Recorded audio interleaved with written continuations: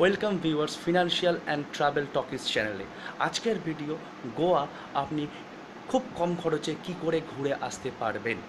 দয়া করে ভিডিওটি পুরোটা দেখুন এবং ভিডিওটি ভালো লাগলে লাইক এবং সাবস্ক্রাইব করতে ভুলবেন না, কারণ আপনাদের সাপোর্ট একান্তভাবে প্রয়োজন আমাদের এই চ্যানেলটিকে এগিয়ে নিয়ে যেতে এবং আপনাদের সাপোর্ট আমাকে উৎসাহিত করে নতুন নতুন ভিডিও আপলোড করার জন্যে।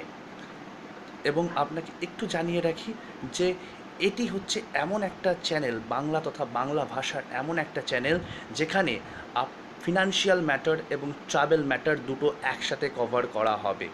অর্থাৎ আপনি কি করে টাকা সেভ করতে পারবেন, বেশি কি করে ইন্টারেস্ট গ্রো করতে পারবেন, এছাড়াও কি করে ঘুরতে পারবেন, বিভিন্ন ট্রাভেল কম খরচে ঘুরতে পারবেন, এসব ট্রাভেল জাতীয় তথ্য দুটোই একসাথে কভার করা হবে এই চ্যানেলে বেশি কথা না বাড়িয়ে আমি ভিডিওটা শুরু করি, কি করে আপনি গোয়া খুব কম খরচে ঘুরতে পারবেন। গোয়াতে যাওয়ার ইচ্ছা সবারই থাকে ইয়ংস্টার থেকে শুরু করে কাপল সবারই একটা ইচ্ছা থাকে গোয়াতে ঘুরে আসার। কেননা গোয়া রয়েছে গোয়া মানে সমুদ্র সৈকত। শুধু সমুদ্র সৈকত বিচেস না, তাছাড়া ফোর্ট ক্যান্ডেল লাইট ডিনার এবং প্রভৃতি প্রাকৃতিক সৌন্দর্য রয়েছে গোয়াতে। কিন্তু গোয়া হচ্ছে খুব কস্টলি এরিয়া সেখানে ঘোরার ইচ্ছা থাকলে অনেকে যেতে চায় না, যেহেতু কস্টলি কিন্তু আজকে আমি দেখাবো খুব কম খরচে কি করে গোয়া আপনি ঘুরে আসতে পারবেন। খুব কম খরচে সেটা। উইদিন এইট থাউজেন্ড আট হাজার টাকার মধ্যে আপনি গোয়া ঘুরে আসতে পারবেন উইথ ফুল এনজয়মেন্ট টোটাল এনজয়মেন্টের সঙ্গে। ঠিক আছে? কিন্তু আপনাকে মনে রাখতে হবে যে, কোন সময় গেলে আপনি খুব কম খরচে ঘুরে আসতে পারবেন? সেটা হচ্ছে মনসুন টাইম অর্থাৎ বর্ষাকালে। বর্ষাকাল মানে এই না যে সব সময় বর্ষা হচ্ছে ওখানে, এরকম ওয়েদার কিন্তু না। বর্ষাকালে আপনি খুব কম খরচে ঘুরে আসতে পারবেন, কারণ সেই সময় বিচটা একটু ফাঁকা থাকে এবং হোটেল যে কস্ট হোটেলের ভাড়া সেই সময় কম থাকে। অর্থাৎ মনসুন টাইমে আপনি সব থেকে কম খরচে গোয়াতে ঘুরে আসতে পারবেন। এবং ডিসেম্বর এবং জানুয়ারিতে সেই সময় হচ্ছে পিক আওয়ার সেই সময় ভাড়া কিন্তু হোটেল থেকে শুরু করে গোয়া টোটালি কস্টলি হয়ে যায়। তো মনসুন টাইমে আপনাকে ঘুরতে হবে খুব কম খরচে।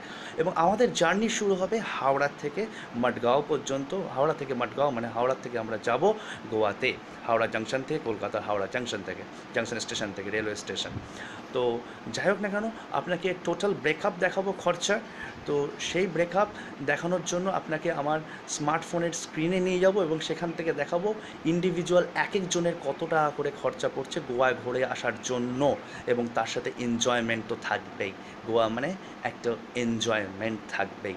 তো আমরা হিসাব করব দুজন একসাথে যদি যায়, সেই ক্ষেত্রে এক একজনের কত পড়বে। অর্থাৎ দুজন যদি যায় একটা কোনো একটা গোয়ায় ঘুরতে এবং সেই ক্ষেত্রে যখন আপনি হোটেল রেন্ট নেবেন, সেই ক্ষেত্রে ভাড়াটা কিন্তু অর্ধেক অর্ধেক হয়ে যাবে। এরকম হিসাবে এক একজনের কত পড়বে, দুজন যদি একসাথে ঘুরতে যায়, এক একজন ইন্ডিভিজুয়ালি কত পড়বে।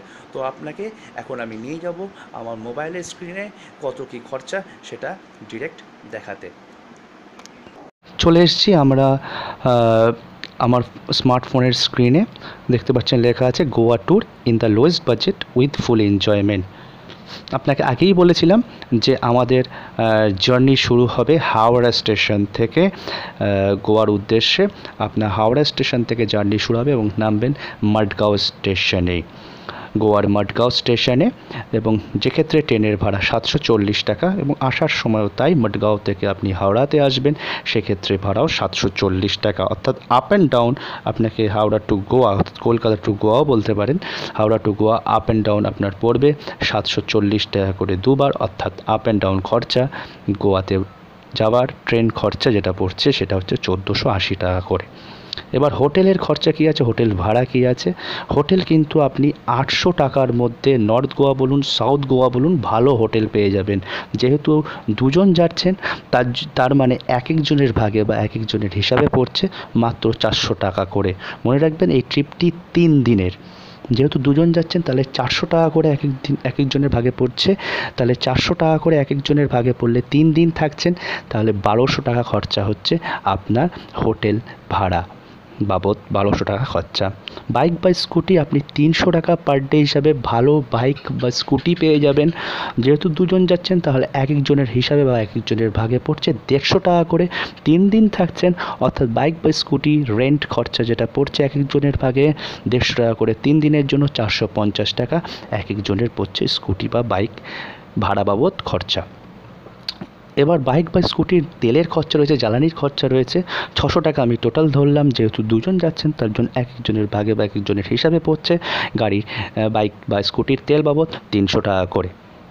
খাবার খরচা খাবার খরচা আপনার সাতশো টাকা করে পার ডে ধরেছি, তিন দিন থাকছেন একুশশো টাকা খাবার খরচা। ফুড কস্ট একুশশো টাকা এক একজনের সাতশো টাকা করে তিন দিন হিসাবে এক একজনের ফুড কস্ট টোটাল মিলিয়ে পড়ছে একুশশো টাকা দু হাজার একশো টাকা।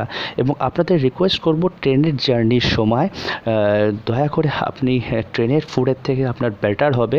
আপনি যদি কোনো ড্রাই ফ্রুট ক্যারি করতে পারেন ট্রেন জার্নির সময়। তাই এখানে সেই খরচাটা ট্রেনে যদি কিছু খাবার খান খেতে তো অবশ্যই আপনাকে হবে। যেহেতু প্রায় দুদিনের কাছাকাছি জার্নি, তো সেই খরচাটা এখানে ইনক্লুড নেই। আমি রেকমেন্ড করব আপনি ড্রাই ফ্রুটটা মেন নিয়ে যান এবং সেই ক্ষেত্রে বেটার হবে আপনার শরীরের ক্ষেত্রে। আদার্স ক্যাব ফেয়ার অর্থাৎ অন্যান্য গাড়ির খরচা যেটা দেখেছি, তিনশো টাকা করে এক একজনের। ধরুন আপনি মাডগাঁওতে নামলেন। মাডগাঁও থেকে আপনি আপনার হোটেলে যাবেন, সেই ক্ষেত্রে একটা ক্যাব ফেয়ার থাকতে পারে। অর্থাৎ রিল্যাক্সেশন ক্যাব ফেয়ারটা বেসিক্যালি রিল্যাক্সেশনের জন্য একটু তার জন্য আমি তিনশো টাকা করে ধরেছি এক একজনের জন্য।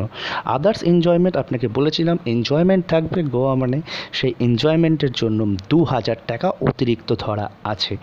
অর্থাৎ এনজয়মেন্টের জন্য টু থাউজেন্ড রুপিস ধরা আছে। তার জন্য লেখা আছে, দেখতে পাচ্ছেন others enjoyment cost rupees two thousand এবং যদি টোটালটা করা হয় টোটাল বাজেট টোটাল কস্ট কত হচ্ছে?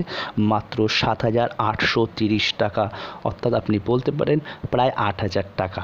তাহলে আট হাজার টাকার মধ্যে আপনার গোয়া ঘোরা হয়ে যাবে এবং যেখানে রয়েছে এনজয়মেন্ট অলসো তাহলে গোয়া ঘোরাটা খুবই সহজ হয়ে গেল এবং এই ব্রেকআপটা আপনাকে দিলাম মাত্র আট হাজার টাকার মধ্যে গোয়া ঘুরে আসার ব্রেকআপ।